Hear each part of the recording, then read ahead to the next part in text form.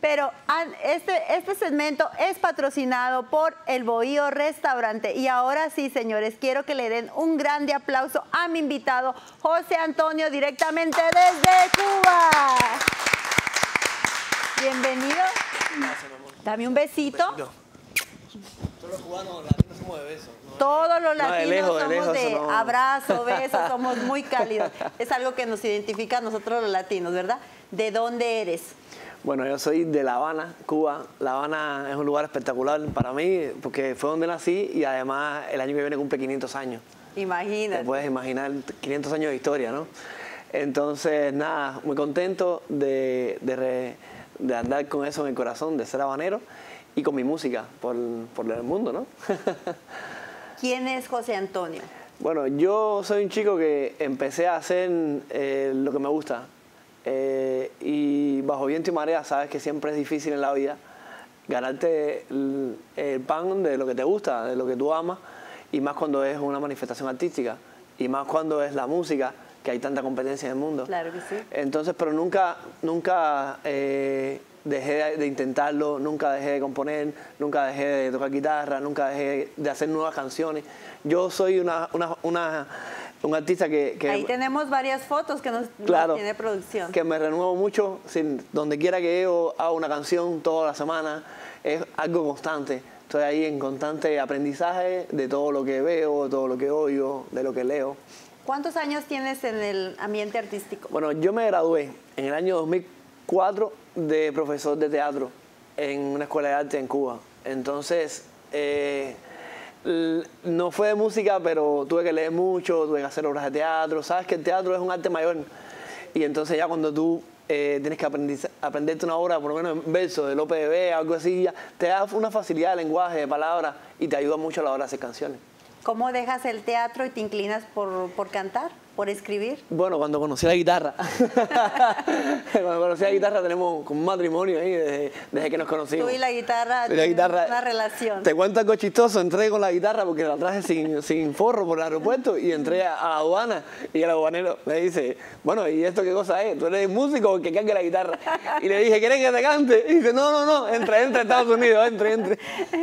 Imagínate que no le Yo cantando al aduanero, imagínate. Claro, no te escuchó, él se lo perdió, ¿no? Claro claro, Cuéntame, ¿qué me traes a este de nuevo? ¿En qué estás trabajando ahora? Bueno, eh, yo estoy promocionando un disco que se llama Chico de Televisión. Es un disco que hice porque en Cuba eh, yo me hice conocido por hacerle canciones a los programas de televisión. Llegué a tener 10 programas de televisión con mi música.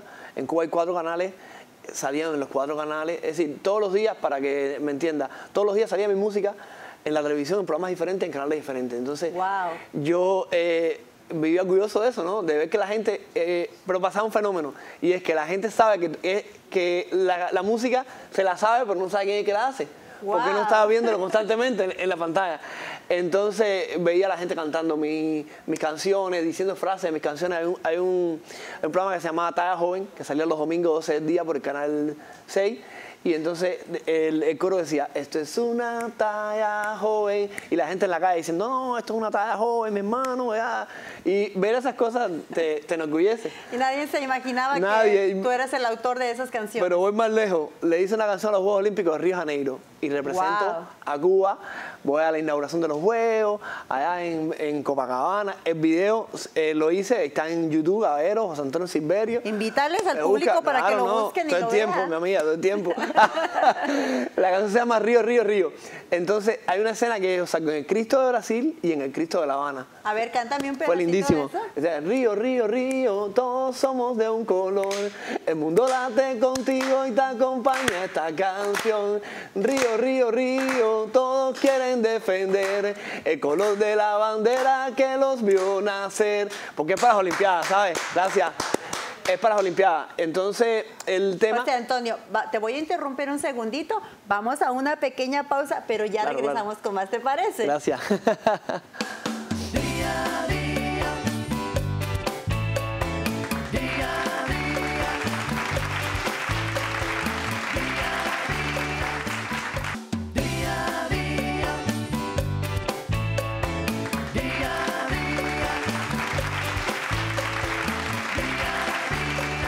ya estamos de regreso. Sígueme contando de lo de Brasil. Nada, para contarte rápido, andaba por Copacabana, por Ipanema, mi tema se empezó a poner en Brasil, cubano, 30 años, nunca había viajado en mi vida.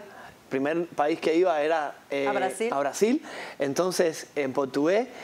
Eh, las canciones mías, yo no tenía una, una eh, disquera como Sony Music ni nada. Entonces se ponían las canciones, hasta en el avión cantaban mis canciones. Yo estaba en el avión, eh, en el avión estaban Río, Río, Río, delante de mí, yo diciendo, ¿dónde me meto? escribí yo? y, fue lindo porque la canción era en portugués, la oficial de los juegos, y la gente, los latinos, las canciones se le pegan cuando son en español y ponían la mía en algunos estadios y todo, y, y veía a la gente cantando tu música es muy lindo. Qué orgullo, de verdad que te felicito. Eres un muchacho muy talentoso. Y cuéntame más, me, dijiste que estabas trabajando en algún video también. Eh, mira, yo amo mis propios videos. En eso también es que a mí me gusta mucho eh, mis canciones visualizarlas y, hacer lo que a mí se me ocurre. Y empecé a hacer videitos eh, para poner en mi canal de YouTube.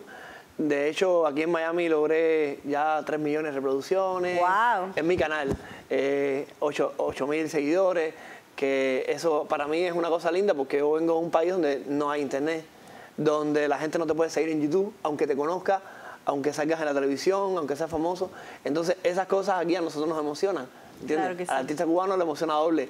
A lo mejor para alguien tener eh, millones de reproducciones en YouTube no es, nada porque todo el mundo aquí tiene internet, pero... Casi me hace llorar, de verdad. No, es que...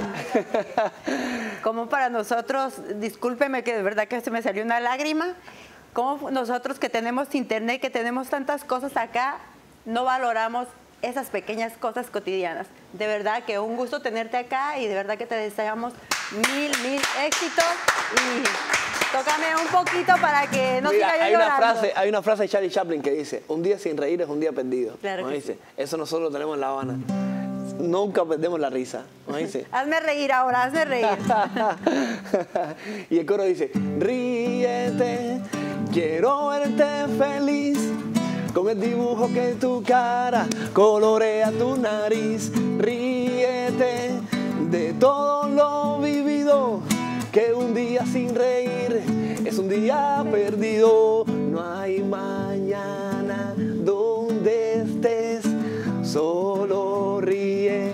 Mundo cambie para bien, no hay mañana, cero estrés, solo ríe, que el mundo cambie para bien, que el mundo cambie para bien. Solo con tu sonrisa, mamita, el mundo cambie para bien. La noche oscura se vuelve clarita, el mundo cambie para bien a la fiesta que hay en mi Habana. Tengo tremendas ganas para bien. Hermosa, hermosa canción. Para bien, eh, tu esposa está aquí, es para bien, es para bien.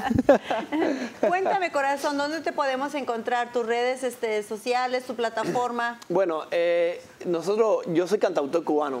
Entonces los cantautores a menudo no nos cambiamos el nombre. Somos ah, inspiradores de Sabina, de Serrat y todo eso. Entonces yo me llamo José Antonio Silverio con V y ahí me pueden encontrar en cualquier parte de internet, Spotify, Amazon, iTunes. Instagram. Instagram, mi página web, joseantoniosilverio.com, en Twitter, todo. Ahí está, José Antonio Silverio, aparece en, todo, en todos lados. Y humildemente a mí no me gusta, no sé, cambiarme el nombre. Fue el nombre que me dieron mis padres y ahí con mi música y con mi historia. Hoy estreno un, un video en la calle 8.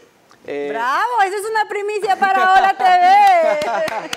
es un video que hice eh, dos noches en la calle 8, porque los cubanos eh, a menudo me preguntan mucho sobre la calle 8. Mándame foto de la calle 8. Oye, ¿qué cosa es la calle 8? Porque para nosotros es famosa y entonces le hice un video enseñándole todo en la calle 8 con, con una canción que se llama Noche de Amor. ¿Me entiendes? ¿Cómo va esa canción? ¿Cómo va esa canción? Dice, dice, la vida es más bella cuando estás conmigo. El cielo brilla y todo tiene sentido. Siento que me miras de verdad.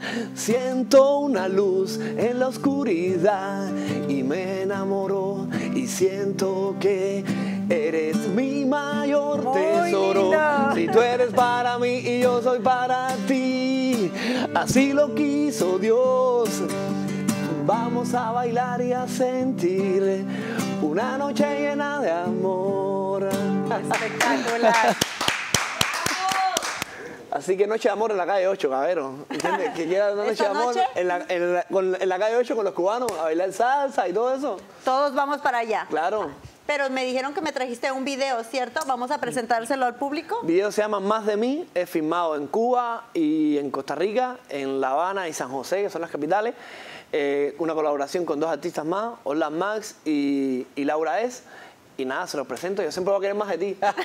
Vamos a verlo.